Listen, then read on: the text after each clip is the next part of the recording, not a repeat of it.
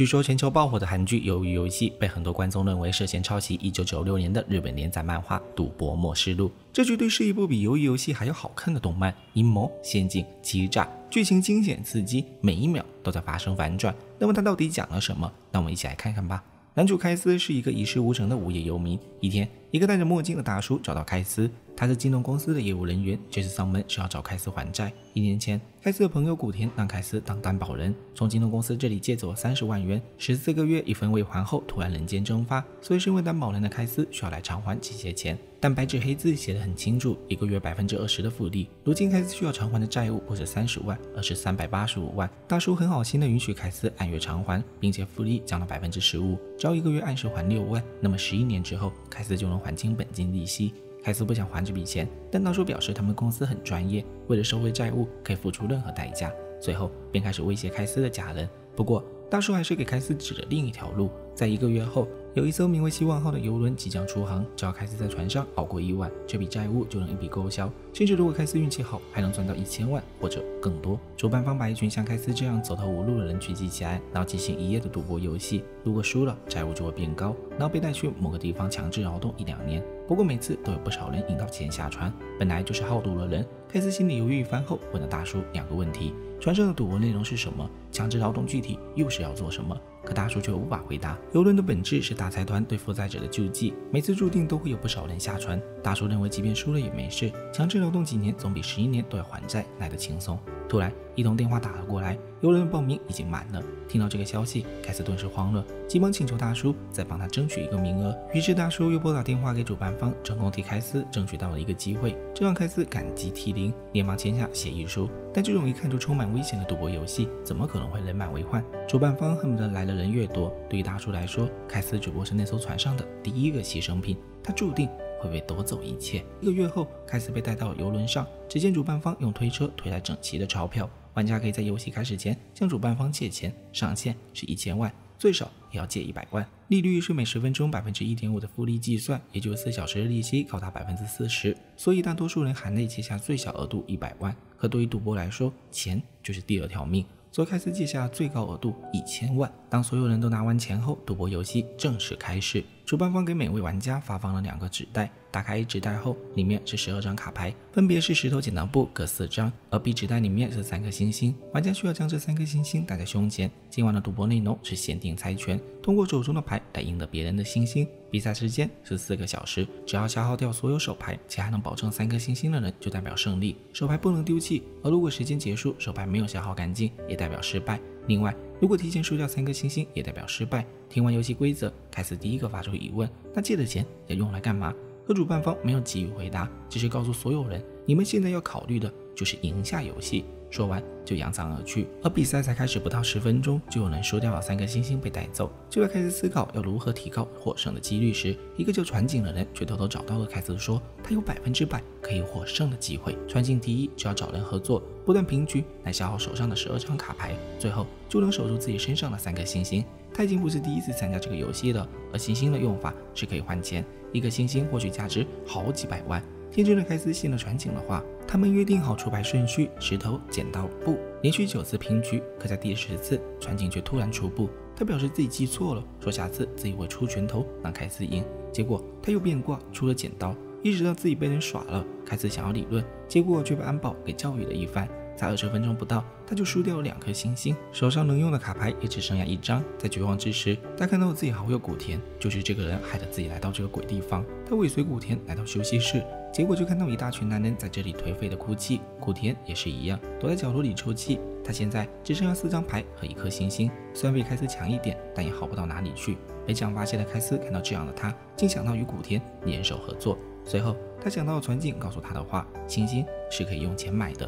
而如果不想花钱去买的话，开始想到可以找还有两颗星却已经没牌的人合作。这种人不难找，很快他们就有了目标——安藤。三人计算手中的资源：现金一千四百万，星星四颗，卡片五张，分别是四张剪刀和一张布。他们必须在剩下的时间内赢到九颗星。然而，开斯很快就发现手中少了一张牌。他意识到情况不妙，原来安藤特地拿走唯一的布去跟人对赌，只要赢了，他就能凑够三颗星，且消耗手上所有牌，达成条件通关游戏。届时，安藤一定会抛弃他们。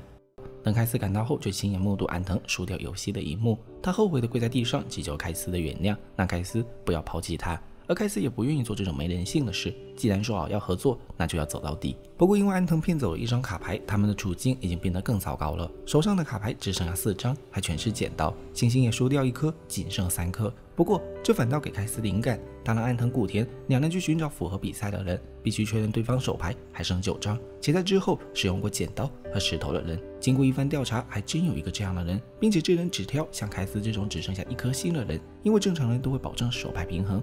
不会一次性将一种手牌出光，而凯斯要赌的就是新手平衡派玩法的猎狗，一定会在出完剪刀和石头后打出多余的布来试探，这样手上剩下的六张牌就刚好平均。而凯斯的全剪刀卡牌组合也会让对方始料未及，但这都只是凯斯的设想，他究竟能否让自己的理论在实战中获胜呢？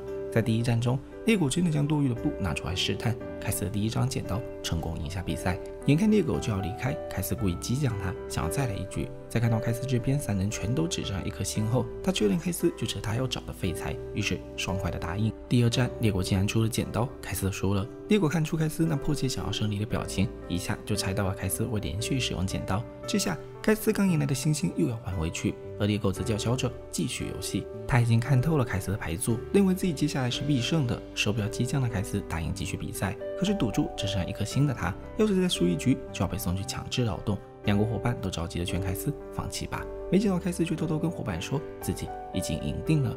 古田突然反应过来，猎狗是秉承平衡派的玩家，他会下意识认为凯斯也是如此。毕竟没有疯子会将手上的卡牌只留一种，所以他所谓猜透凯斯的牌组，是认为凯斯剩下的两张牌，要么就是两张布，要么就是两张石头，或者一张布一张石头。但不管是哪个牌组，猎狗只要出布，就有可能赢下比赛。反正最差不过就是平局，可他没想到开斯的第三次出牌又是剪刀，这让猎狗有些慌了。但这更加让他确定开斯手上最后一张牌不可能会是剪刀，所以他再次激向开斯进行第四场比赛。可结果自然又是输了。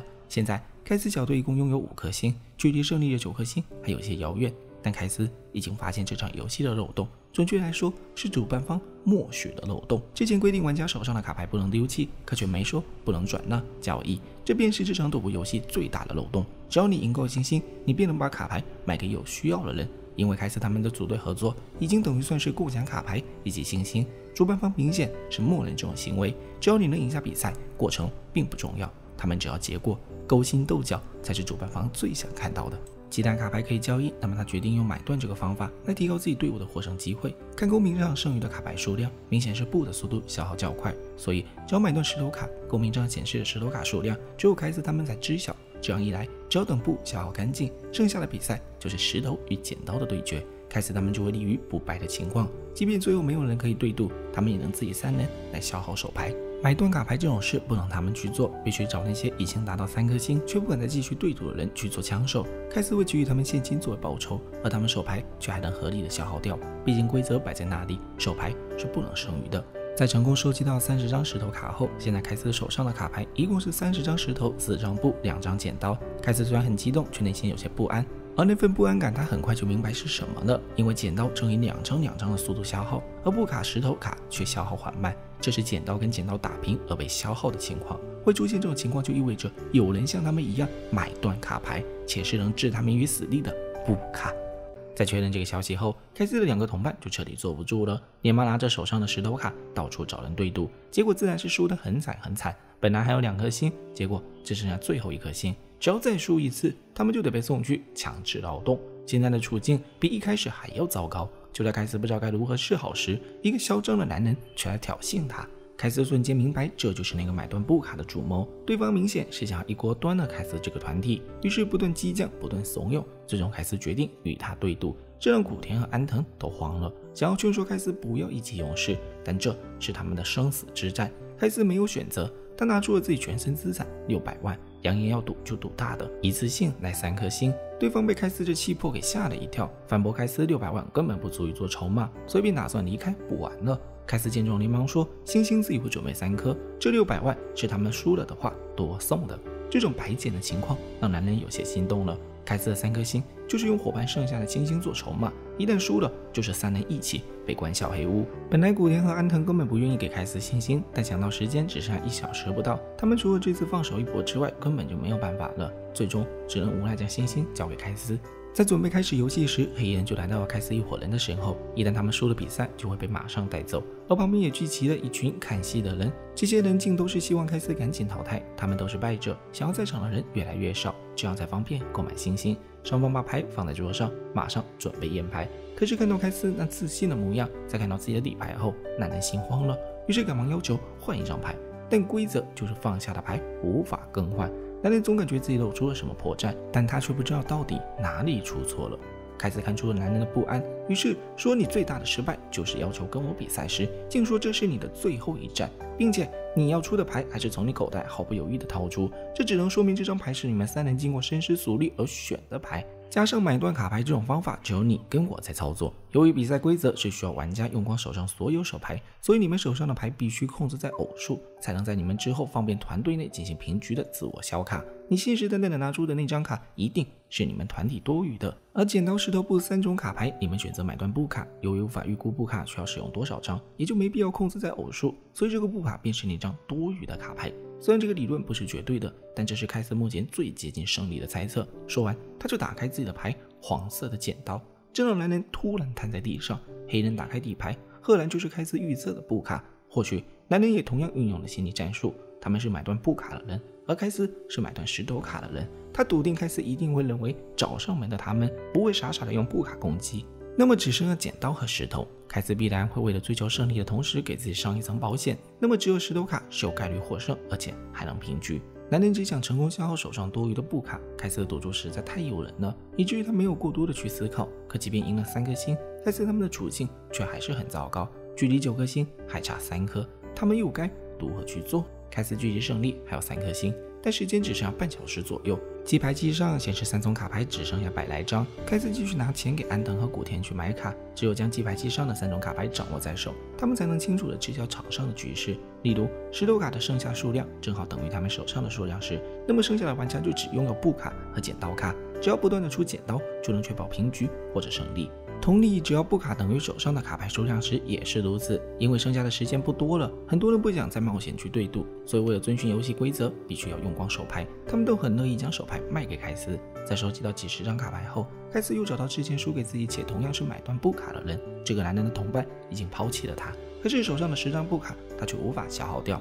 凯斯给了他一个选择，让他花钱求自己收了他的布卡。白拿卡牌还能赚一笔，男人很不愿意，但也别无选择。因为只要凯斯告诉别人他手上只有布卡，那么他等于是必死局面。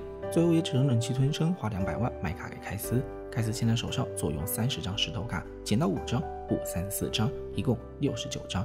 凯斯已经买断了目前场上一半以上的卡牌，现在他们就是等卡牌的消耗来确保自己的必胜局。不过意外还是来了。最早骗了凯斯的船警却找到了他，说自己可以偷偷给他一颗星藏起来，让他踢掉安藤和古田，这样凯斯就拥有三颗星，不需要再冒险对赌。条件是让凯斯给他几张卡，因为船警已经看穿了几个马上就要被淘汰的人手上的卡牌。见凯斯有些不为所动，船警有些威胁地说：“凯斯的计划并不是万无一失，只要最后没人愿意跟他们对赌，他们也是等于失败。”凯斯很讨厌自己有些心动的情绪，最后按捺下来躁动，推开船警，拒绝了他。船警很生气，发誓要让凯斯后悔。而凯斯纵观此时场面的局势，发现能跟他们对赌的人只剩下十六人了。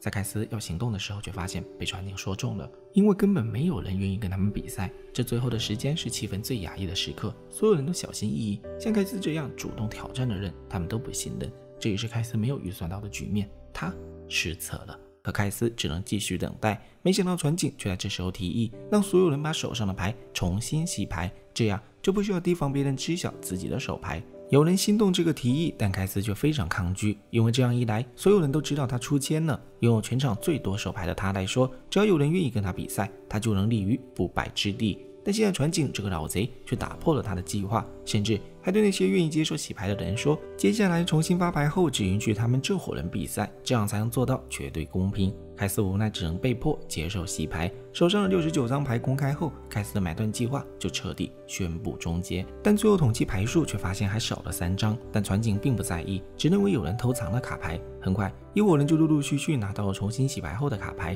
等到凯斯他们时，他却故意把六十九张卡牌弄在了天上。这样一来，凯斯需要大量时间捡牌，还要重新计算三种卡牌的总和。果然，在他们计算卡牌的途中，船警就已经赢下了一颗星星。等盖斯计算出所有手牌时，却发现记牌器上的布跟手上的布数量一样，而石头卡只差两张，剪刀卡差五张。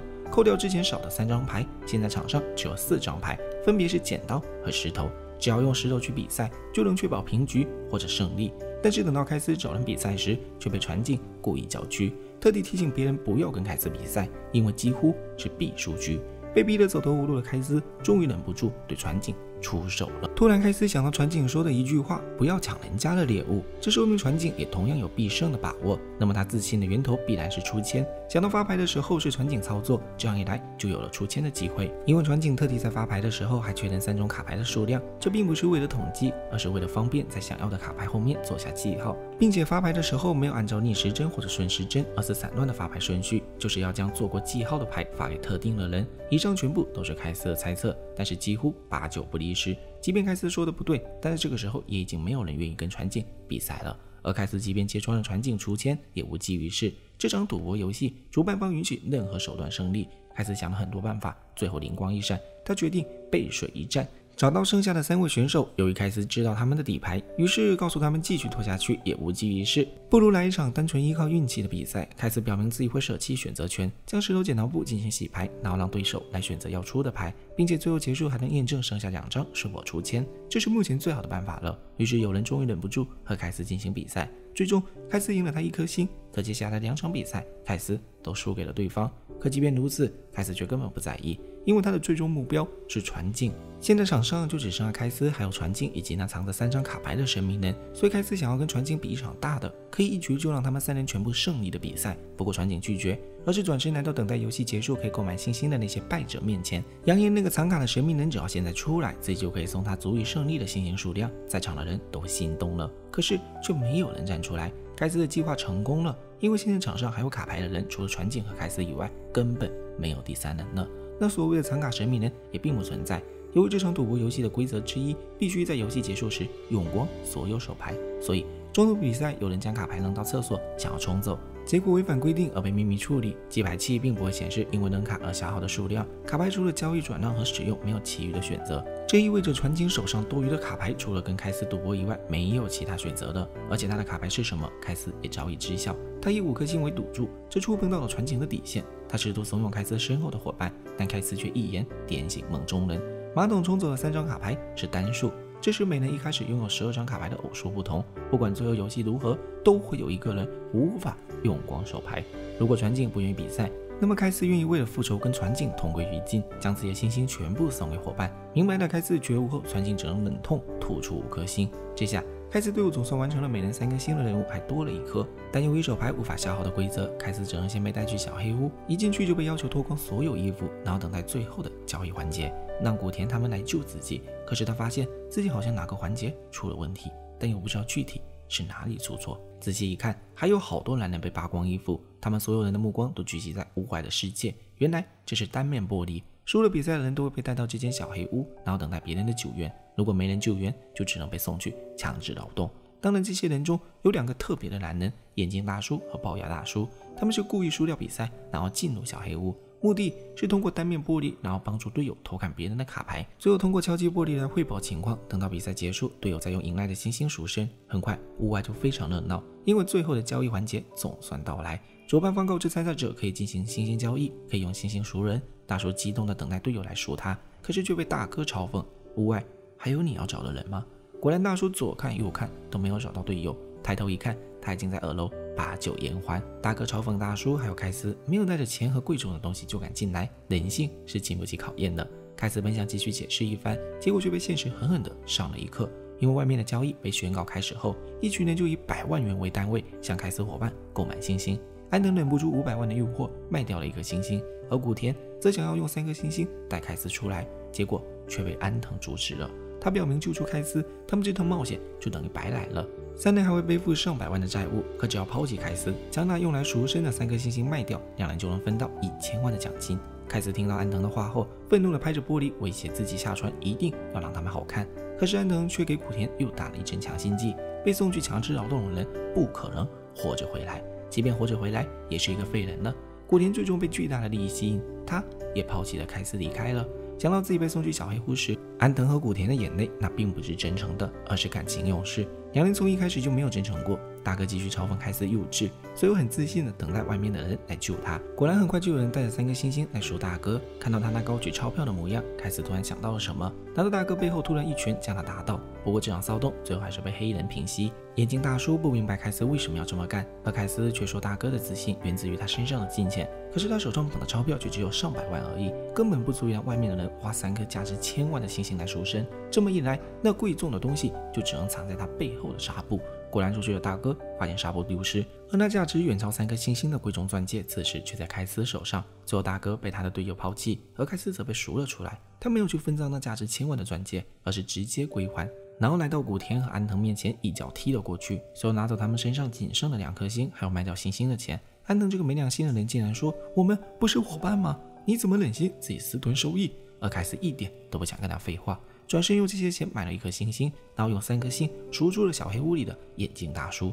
凯斯宁愿把这些钱扔了，也不想让安藤古田赚。这恶心的胖子竟然还以为大叔外面有很多资产，在得知没有任何钱后，就对凯斯破口大骂。凯斯终于忍无可忍，他明白安藤的姿态就是主办方最想看到的，被利益吞噬了人性。钱对于主办方来说根本就是一张无用的纸张，他们多得花不完。于是最喜欢看这些败者将人性的阴暗暴露出来。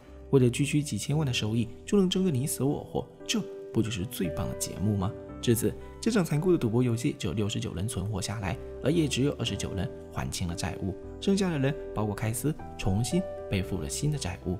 他的债务高达六百二十九万元，且年利率为百分之十八。开司又该如何做呢？他真的感觉好无力，好无力啊！而故事却远远还没有结束。神奇的是，已经过去四个月，却没有一个人来讨债，连催债的人都没有出现一个。越是这样平静，他就越害怕，以至于他的精神无时无刻都处于紧绷的状态。今天夜晚打工的超市店长还污蔑开司偷了钱包，冷无可忍的他打算借这件事发泄情绪，没想到同事黄毛却连忙阻止。在开司离开后，他却赶紧追了出来，说自己也辞职了。开司当场揭穿他：“钱包是你偷的吧？因为害怕事后被发现，所以才干脆辞职。”黄毛很爽快的承认。但是他认为这笔钱是那无良店长克扣的，所以本来就是属于他们。凯斯就这样跟黄毛不打不相识，两人一起去喝酒，没想到黄毛却很直接的说：“凯斯是不是正被人追杀？”黄毛发现凯斯选择的工作位置都是能看到店外来人的位置，并且一有人就会瞟一眼，有些过于警惕的。凯斯没想到黄毛竟然能够发现那么多，但关于债务的事，他不愿意向任何人提起。而平静的日子也在今天聚会完后就被彻底打破，因为让他背上巨额债务的大叔远藤竟然找上门来。但是这次远藤的到来却是来告诉凯斯，下周六有一场赌博聚会，只要熬过一个晚上就能获得两千万元。跟之前的套路如出一辙，凯瑟不愿意上当了。可是黄毛却被两千万的奖金给吸引了，表示自己愿意尝试。凯瑟还想劝说黄毛不要中计，没想到。黄毛却早就清楚，这种聚会肯定是凶险万分。可对于他们这种人来说，这是唯一能够摆脱社会底层的办法。远藤也继续游说开司，六百二十九万的债务虽然没人来催，但加上利息，现在已经是六百六十八万了。如果想要靠打工还清债务，每月十万元也得足足需要十六年左右才能还完。这句话给凯斯的冲击非常大，而之后远藤直接将两千万现金放在桌上，这个视觉冲击让凯斯瞬间失去了思考的能力。而远藤也没有继续劝说了，而是留下电话号码等待凯斯的联系。事后，凯斯讲了很多，六百多万的巨款确实不是他现在能够解决的，想要打破这个困境，似乎唯有再冒险一次。所以，他来到远藤指定的大厦，结果就在这里见到了老熟人大叔，对方很热情的打招呼。结果，凯斯并不想和任何人扯上关系。就像黄毛所说的一样，两千万的奖金肯定只有一个人能获得，所以这里的每一个人都是敌人。他们很快就被送到指定场所，可接下来他们要做的事却让所有人都惊出了一身冷汗。只要走过一道铁桥，就能得到两千万奖金。不过铁桥距离地面有十米之高，一旦失误，参赛者下场轻则骨折，重则死亡。场上的所有玩家竟成了上流人士的赛马工具，他们之间需要比赛谁最快到达彼岸，第一名就能拿走两千万奖金，第二名也有一千万奖金。就在凯斯犹豫不决时，已经有人捷足先登，踏上了这座充满死亡气息的独木铁桥。或许是因为心急，担心奖金被人抢走，再加上恐惧，这人没走几步就从高空中坠落。所有人都被这一幕给吓破了胆，唯独那些上流人士一个个笑开了花。这就是他们想要看到的画面。可现在没有退路了，开始他们也必须走上这个铁桥。只要脚还能着地，那就代表着还活着。不过有人却抢先开始一步上去。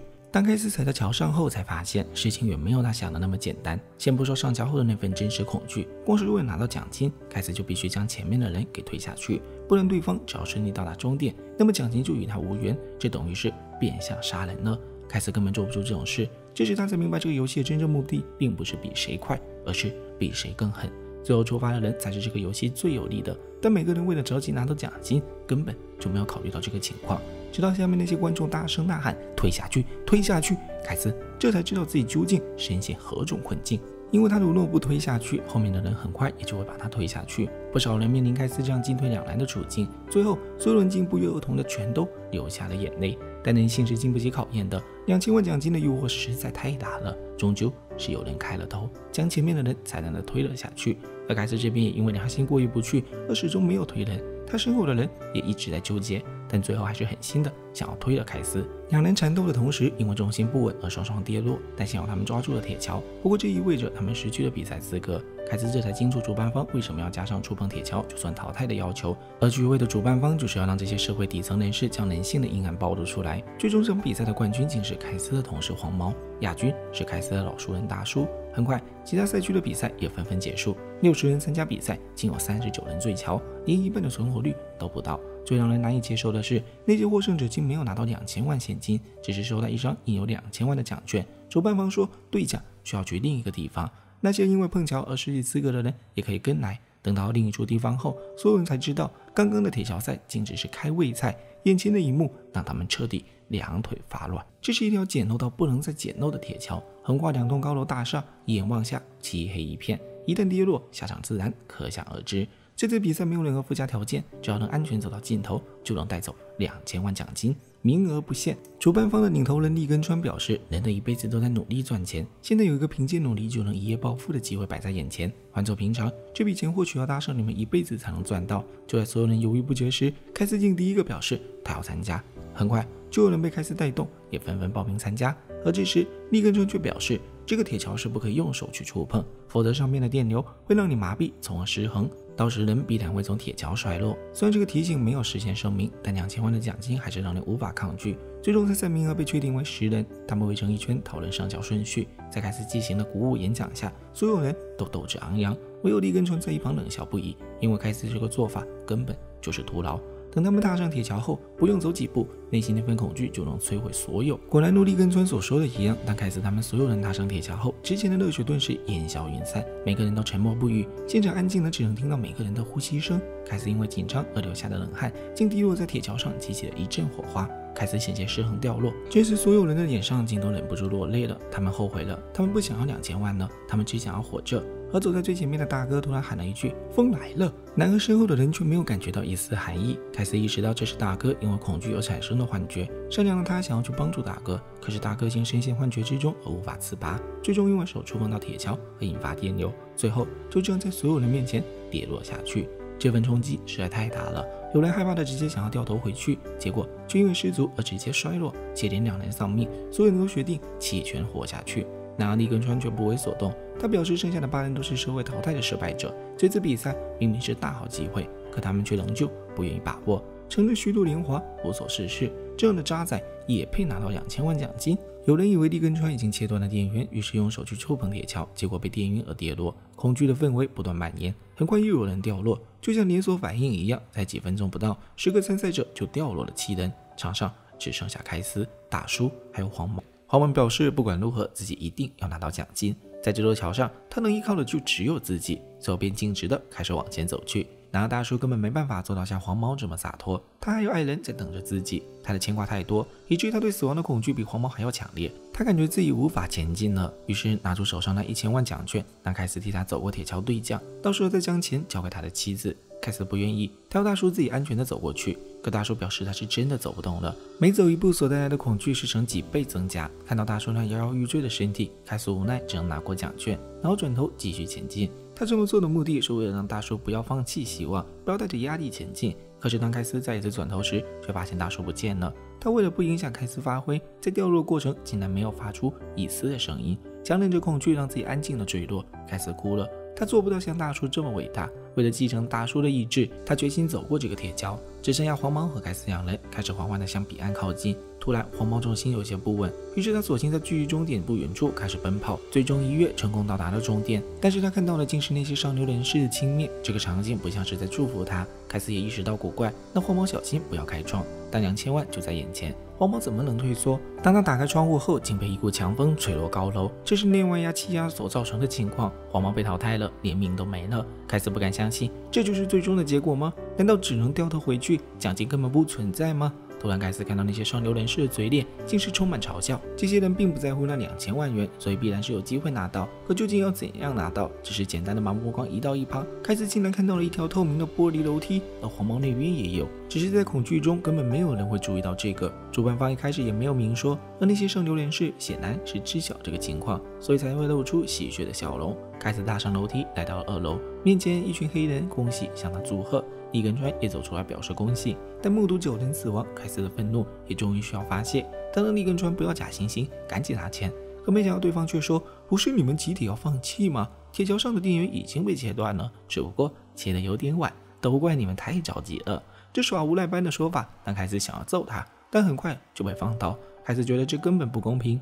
没想到幕后的大佬冰藤竟然觉得确实不公平，是利根川没有及时切断电源，所以他愿意再给凯斯一次机会来玩国王卡牌游戏。别说两千万，只要能赢一个亿都可以带走。明知道这是个圈套，可凯斯为了死去的大叔，他必须再次冒险，必须深入虎穴。而他们接下来要玩的游戏，竟是他从没有见过的。每次下注不是用钞票，而是用毫米为单位。凯斯需要在耳朵佩戴一个装置，只要这个装置前进三厘米，就会破坏这个器官。如果凯斯输了，就会以他下注的毫米前进；而如果赢了，一毫米就能得到十万元。这场赌博游戏只进行十二局，如果凯斯每次只赌一毫米，这个威胁就根本不用害怕。可凯斯却扬言要赢走两千万，这意味着凯斯的耳朵随时都会被毁掉。他们进行的一卡国王游戏很简单，卡组只有国王、奴隶还有平民，双方会分国王阵营还有奴隶阵营，国王胜平民，平民胜奴隶，奴隶胜国王，而卢诺都是平民则平局，三者是互相牵制。而拥有国王卡的人要小心对方的奴隶卡，拥有奴隶卡的人要猜出对方何时出国王，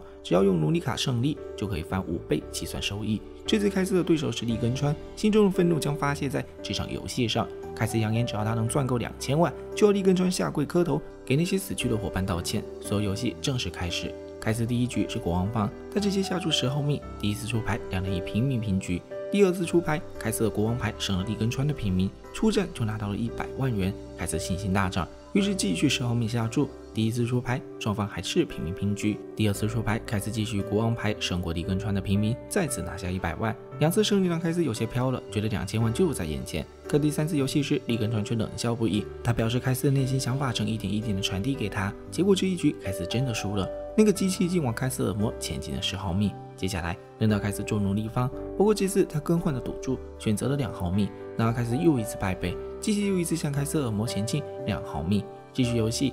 凯斯仍旧下注两毫米，这次出牌他格外谨慎，最终选择平民。在看到利根川也是平民后，他认为利根川并没有看穿自己的手牌，于是打算制造一丝恐惧，让利根川踌躇。但是利根川可是集团二把手，比城府，一百个凯斯都不是他的对手。思来想去，凯斯只能拖延出牌顺序，在思考足足有三分钟后，才选择努力卡牌。然而利根川的平民牌让凯斯有些崩溃，长针距离凯斯的耳膜越来越近。在新一轮游戏开始，凯斯竟然突然魔怔的选择了十毫米赌注，这让冰藤会长格外兴奋，强烈要求利根川必须赢下比赛。于是第一次出牌双方都是平民，凯斯感觉这或许就是利根川的恐惧，来自冰藤会长的压力。他也在采用稳妥策略，于是凯斯打算制造出自己第二轮会出奴隶的假象，只要是个正常人都会稳妥起见，然后继续平局。这样开司就能在自己第三局先出牌的情况下，让李根川无法再出皇帝。虽然不是必胜，但只要越往后拖，自己获胜的概率就会增大。然而李根川竟在第二次出牌就选择了皇帝，并表示开司的理论只不过是假设，这是最低级的操作。赌博最看重的是心理波动，而这就涉及到了情感。正如李根川一开始所说的，他从不是去做理论推测，而是在观察开司的情感波动。六局比赛下来，场间距离开司耳膜只有六毫米了，他又该？如何反击呢？还有整整六局游戏，凯斯只能将赌注调为一毫米。在新一轮游戏开始后，凯斯尝试在第一次出牌就使用皇帝，结果被利根川识破，竟在第一次出牌就选择出了奴隶卡。到了第八局，他已经不知道自己该怎么出牌了。利根川就像会读心术一般，正如他自己所说的一样，自己根本不可能胜利。随后第八局又是败北，场间距离耳膜只有四毫米，游戏还得继续。第一次出牌，两人都以平局收场。到第二次出牌，凯斯犹豫不决。他认为自己只要不断出平民，就能确保安全，说不定还能瞎猫碰上死耗子，赢了利根川的努力卡。但这个想法马上就被扼杀。他总感觉自己这个想法已经被利根川看透，所以更应该打出皇帝。但最后开司还是没有勇气打出皇帝。可是这一次出牌，利根川竟然选择了努力，场面顿时陷入死境。明灯会长随后突然狠狠地打了利根川，对方连忙解释，开司在出牌瞬间更改了想法。这句话让开司想到了什么？因为利根川竟能知道自己在出牌时更改了想法，这绝不是读心术能做到的事。联想到会长的暴怒，还有先前利根川嘲讽自己的话，什么赌博看的是心理波动。既然他能看穿自己，何必要告诉自己？这不是方便自己收敛身心、隐藏想法吗？利根川绝对不会做好人，所以开司顿时怀疑对方正在出千。不过牌子已经检查过了，那问题到底出在哪里？很快。新一轮游戏开始时，开司发现并没有人在偷看自己的手牌，但李根川从始至终就没有去看手牌，而是不断看着手上的手表。那个手表戴法竟是把表盘对着自己。他想到这或许就是接收器，那传感器一定就是自己耳朵戴的这个机器。一开始让自己选择眼睛和耳朵做赌注，所以被要求戴上机器，这根本就是一个幌子。或许他们并不具备监控功能，但可以通过心跳、脉搏频率来反馈。自一开始连胜了两局，每次出皇帝时的心理波动都被对方接收。只要之后出现同样的数据，就可以猜到出牌的内容。果然第十局凯斯又输了，他想要揭穿，但知道对方肯定不会承认。只差两局了，他必须在最后的时间做点什么。很快，凯斯就想到了一个对策，但他同时需要承担相当大的代价。于是他提出下一轮游戏的赌注为十八毫米，这是透支内耳距离的赌注，只要穿透内耳就会死亡。这是凯斯用生命来做赌注的一局。他到厕所，打算让自己冷静一下。也有人进来安慰开司，这是之前跟开司一起参加游戏失败的人，他们经历过绝望，竟发自内心的希望开司赢下游戏，来替他们复仇。开司希望这人帮他一把，说完就对着镜子砸了一拳，然后将自己头撞向镜子。户外的人没有进来阻止。利根川也发现开司在厕所里的异样，他手表上正显示开司的各种数值。不过他并不着急，因为只要开司下了关键牌，内心的波动一定会有反应。很快。凯斯就血流不止的走了出来，然后要求游戏继续开始，并将赌注调整为十八毫米，这是赌上自己性命的一局。第一次出牌，双方都是平民。尼根川故意拖延出牌时间，就是为了让手表能更准确的检测凯斯的脉搏、心跳数值。只要凯斯冷静下来，到时候他的微小兴奋都能感知得一清二楚。等到第二次出牌，尼根川发现凯斯的数值很稳定，这说明凯斯这次的卡牌应该还是平民。利根川为了以防万一，还故意练了一手平民，发现手表检测数值仍旧没有变化，于是毫不犹豫地打出了国王卡牌。冰藤会长已经期待开司那死亡的血腥场面，然而开司竟然出的是奴隶卡牌。利根川想到了什么，突然扯下开司的毛巾，发现他的左耳已经不见了，而之前跟他在厕所里的人正双手捂住他的耳朵。利根川得到的情报都是别人的情况，这个机器唯一不好的就是接触了生命体便会一直有反应。由于努力获胜会翻五倍计算，十八毫米的赌注可以得到一百八十万，总计九百万元，加上一开始的两百万，合计一千一百万元。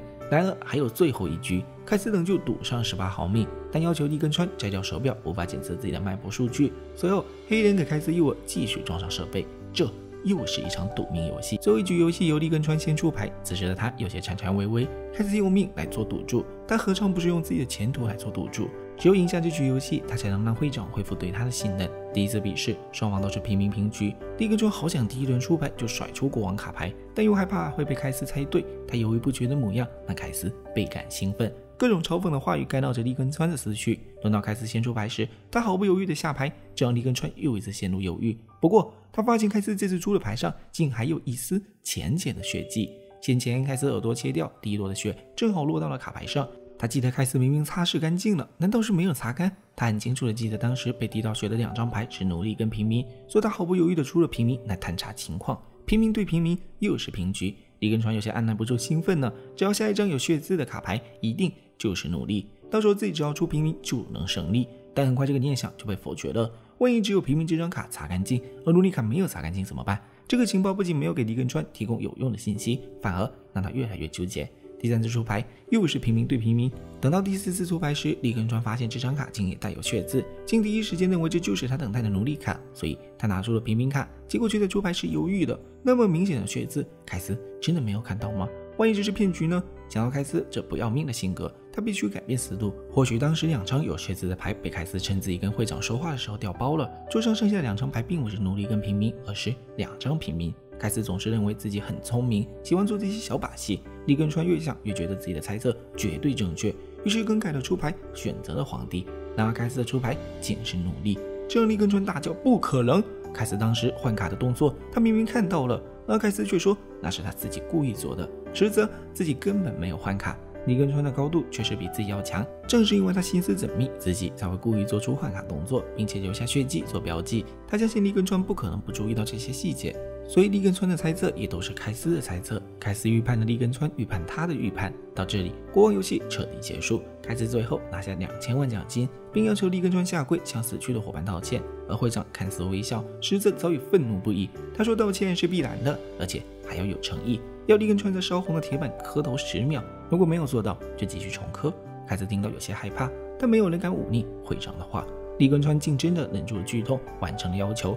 还是被立根川的坚韧给折服了，也才想到自己一直以来将立根川当成敌人，实则会长才是他的敌人。因为立根川只不过是一个傀儡罢了，所以他要用两千万再跟会长赌一次，只有这样才能让死去的伙伴安心。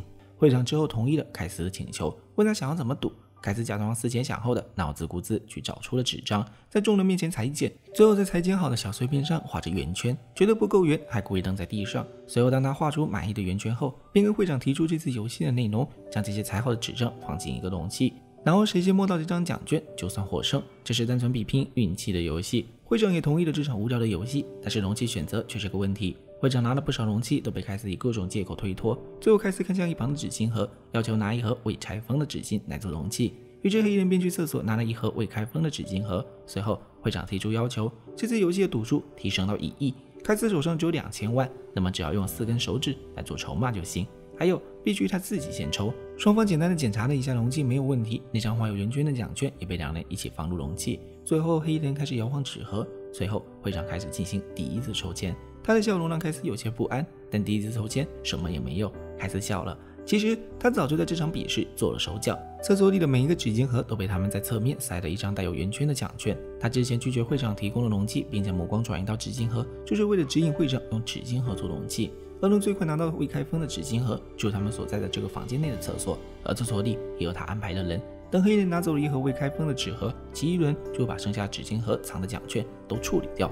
而先前故意画圆圈丢在地上的奖券，实则是在为自己抽到那张奖券。万一对方检查盒子，会有他安排的人在凯斯抽到的瞬间，故意拿着盒子庆祝，导出所有奖券来掩盖耳目。没有人会去特地计算地上有几张圆圈奖券。然而一切都在按照凯斯所安排的情况进行，唯独在他抽签的时候，没有找到事先藏好的奖券。凯斯慌了，最后只能凭借运气随便摸了一张，可这概率实在太小了。而会长则冷笑不已，他说自己已经给凯斯一次机会了。随后，他竟真的在第二次抽签拿出了那张奖券。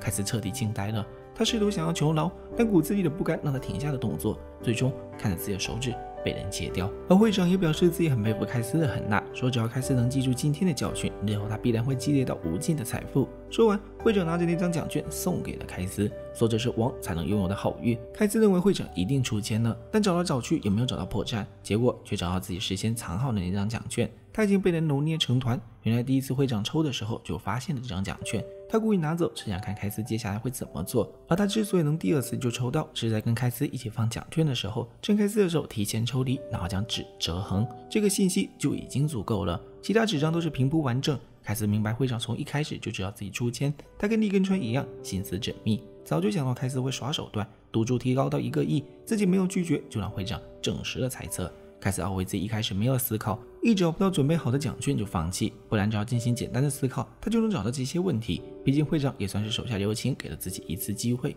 凯斯发誓一定要让冰冷会长给自己下跪。故事以凯斯输光所有钱，外加四根手指以及左耳而宣告结束。这是日本最强烧脑神作《赌博默示录》。这个系列一共有三季，全片没有任何一个妹子，却能让所有人看得惊心动魄、血脉奔张，完全是依靠剧情吸引了观众，也给后来的不少作品带来了很多灵感。看完全片，你会发现，虽然会长心狠手辣，但是他说过的每一句话都是经典。例如我没有提到的一句：“想要推翻王的统治，就是平民时金钱权势如粪土，真正联手反抗王，那么王也会消失。”可笑的是，平民总会妄想自己有日成为王，这反而会巩固王的地位。只要争夺还在，王就永远不会消失。